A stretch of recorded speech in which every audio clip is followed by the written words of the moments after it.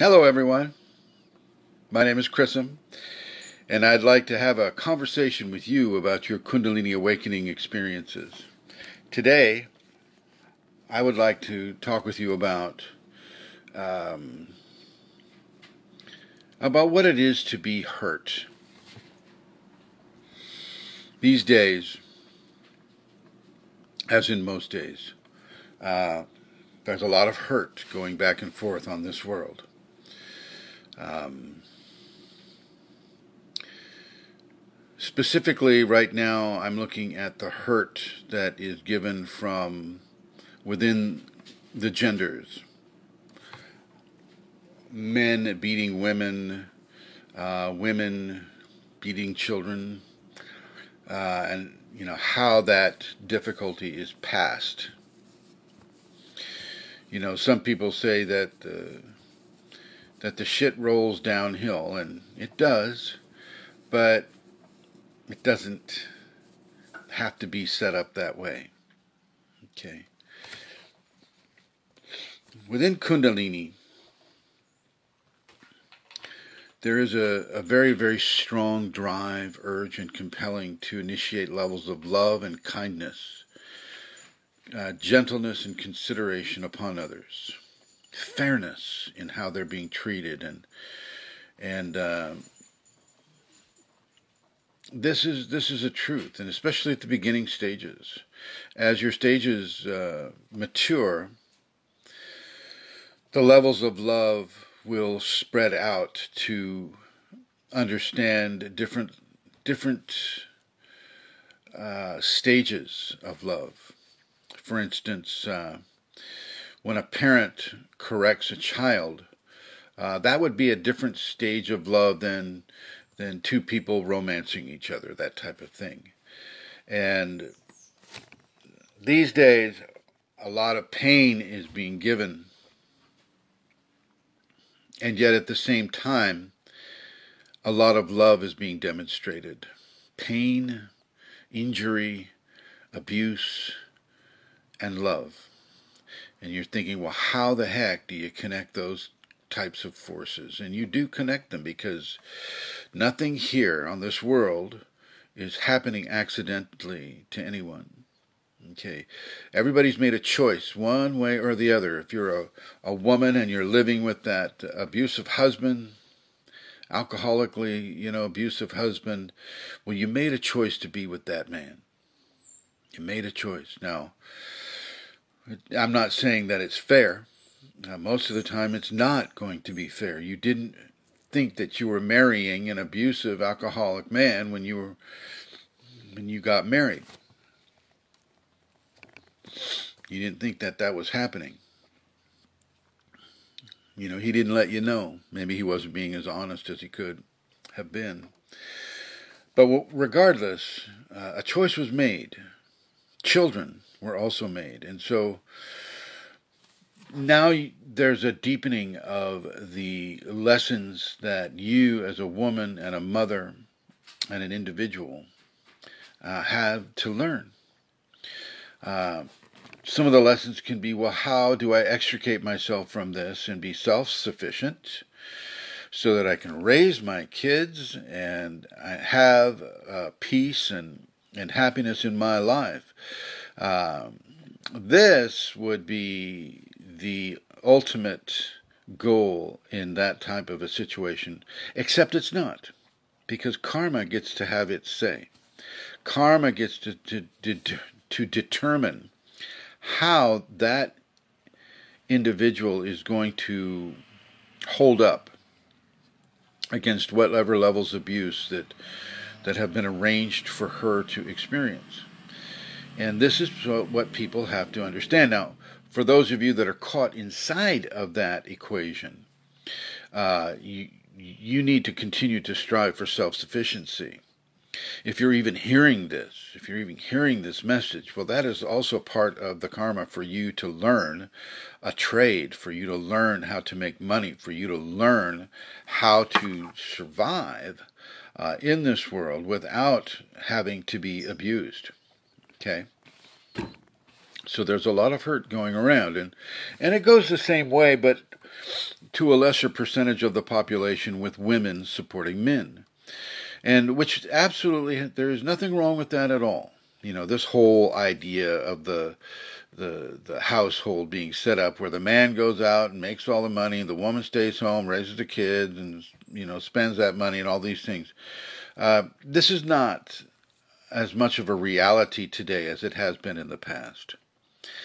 Uh, in the past, yes, that was the case. These days, you know, it, it is it is common for a man to stay home. What if the man gets laid off and you've got a two-income household and the man gets laid off, the woman's still working? You know, she's not the you know going to quit her job so she can be stay at home, even though she wasn't. But you know what I'm saying. Sometimes the man, before he gets another job, will stay at home and help with the kids and prepare the food and the whole bit. These these stereotypical roles that that um, have been foisted upon us by our parents and grandparents and great grandparents no longer are, are really uh, applicable in this day and age as we go forward into um, into our grace because grace recognizes the equality of masculine and feminine totally recognizes that. 50% Shakti, 50% Shiva, and there is no glass ceiling for either one of them. Okay, so you can kind of see how far we have to go here in the United States at this time, you know, 2019. So there, I've just dated the uh, the video. Who knows what's going to happen, you know? Anyway, I want you to realize that the that the troubles that you bear under right now uh, are, are developing fruits, the fruit of what you would like to have happen to you as opposed to what is happening to you. The fruit of having to bear up under, you know, really tremendous amounts of pain and anger and irritation and abuse. Uh, not only for yourself, but also for your children. I want you to learn how to ground I want you to walk barefoot on bare soil, and I want you to make that connection with the earth. I want you to visualize a cord of energy going from the tip of your tailbone straight into the earth. Same thing with your feet, from the bottoms of your feet, the soles of your feet, straight into the earth. And I want you to give that resentment to the earth. Let it let the earth compost it, so to say, as someone just mentioned on the on the group. Let the earth compost it and you know, pull the energy, the pure energy of sacred femininity, which is the world, back up into your system to nourish you and to help you learn how to propel yourself forward, to take yourself out from under the the difficulties of feeling that you can't make it in this world, you know, to get over those fears the fears are not real. They are not real. And you can do it. You can go to the JC, you know, whatever you can do within the, you know, the strange uh, confines of that marriage. And sometimes you may just need to leave, my friends. My my female friends, my women friends, you may just need to leave that man and trust your grace. Trust the Kundalini to give to you what you need, what your kids need, and and to trust that force because it will come through for you.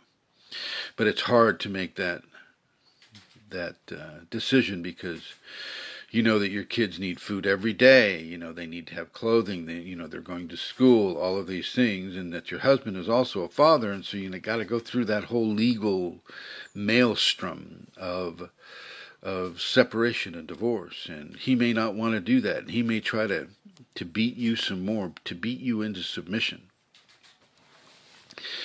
And you need not let that occur need not let you call that sheriff, you call the police department, you call whoever you can call that can put a stop to that. Don't be afraid. If you're hearing this and you've paid your karma, it's done, it's finished. Time for you to move on. And your trust in the Kundalini, your trust in the Shakti, the sacred feminine, the sacred mother will push you forward out of that terrible, terrible relationship. That was necessary for a time, but is no longer necessary. This goes for both genders. Okay. If, if, if, if the man is living under similar situations, well, and I'm talking to you too. You don't need to live your life as a victim of another person. I want you to get rid of that victim mentality. Remember the grounding I just described to you, walking barefoot on the earth, and to really, really tighten that connection. Okay, this tightens your resolve and this helps you follow the compellings of Kundalini that are constantly coming to you. I know you're hearing this, and I know you're wondering, well, how do I put that into practice? Well, you just have to go out and do it. Do it. Go out to a park. Take the kids to a park. Go out to a park. Take your shoes off. Feel that connection. Now, if you're if you're seeing this in the wintertime and there's ice over everything, well, you know, maybe find a warm spot if you can. I know, I know that you know places on you know places where there's a lot of ice in the winter make it harder for you to ground that way, but you can still do the visualization from the tailbone into the earth. Okay. That's the first thing you need to do is to ground yourself so that your fear has an exit point in your body. It's not just being stored in your body. All right, now let's see. I'd like to say hello to everybody who's walking, watching right now. Michael, I won't try to pronounce your last name. It sounds it's Polish. Good to see you. And Sasha, hello, Sasha and Ben. Good to see you. Uh, Zelchko, Buchev, nice to see everybody here. David, nice to see you. Tommy, or who I like to call Tomei. Felicia, good to see you, Felicia. Anyway, so, ladies and gentlemen, really, really begin to take this to heart. You can trust your Kundalini with your life and with the lives of your kids. You can do this. You know,